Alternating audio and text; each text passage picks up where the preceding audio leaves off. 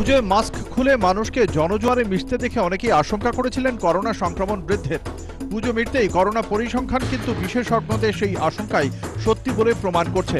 গত সাত দিনে রাজ্যে পজিটিভিটি রেট দুই দশমিক তিন দুই থেকে বেড়ে তিন শতাংশে পৌঁছেছে। সাত দিনে দৈনিক আক্রান্তের সংখ্যা একশো পঁয়তাল্লিশ থেকে বেড়ে দাঁড়িয়েছে একশো চুরানব্বই এ এক নজরে দেখে নিন পুজোর সপ্তাহে কলকাতার করোনা পরিসংখ্যান।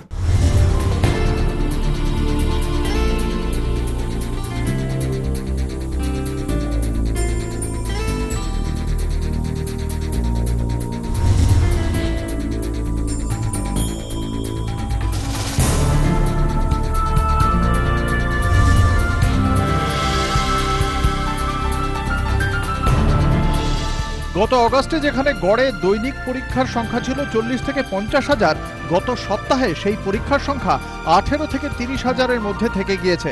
বিশেষজ্ঞরা যেখানে পরীক্ষার সংখ্যা বাড়াতে পরামর্শ দিচ্ছেন, সেখানে এই পরিসংখ্যান উদ্বেগ বাড়াচ্ছে, সন্দেহ নেই। এই পরিস্থিতিতে ফের একবার টিকাকরণে কোমর বেঁধে নামল কলকাতা পুরসভা। মঙ্গলবার থেকেই খুলে গেল কলকাতা পুরসভার সবকটি স্বাস্থ্যকেন্দ্র।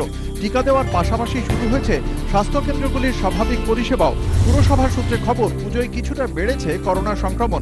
এই মুহূর্তে কলকাতায় প্রায় একশো শতাংশ মানুষ করোনার প্রথম ডোজ পেয়ে গিয়েছেন। তবে করোনা টিকার দ্বিতীয় ডোজ পেয়েছেন মাত্র পঁয়ষট্টি শতাংশ মানুষ। অর্থাৎ এখনও কলকাতার একটা বড় অংশের মানুষ পুরোপুরি সুরক্ষিত নন। আগামী কয়েকদিনের মধ্যেই সকলকে দ্বিতীয় ডোজ দেওয়ার লক্ষ্যমাত্রা নিয়েছে কলকাতা পুরসভা। লক্ষ্যমাত্রা পূরণ করতে বাতিল করা হয়েছে স্বাস্থ্যকর্মীদের ছুটিও। রবিবার লক্ষ্মী পুজো, কালী পুজো ভাইফোঁটা ছট পুজো, বিরসা মুন্ডার জন্মজয়ন্তী এবং গুরু নানকের জন্মতিথি ছাড়া আর কোনো অতিরিক্ত ছুটি পাবেন না স্বাস্থ্যকর্মীরা। সমস্ত যে ভ্যাকসিনেশন সেন্টারগুলো আছে, সেগুলো কিন্তু খুলে দেওয়া হলো।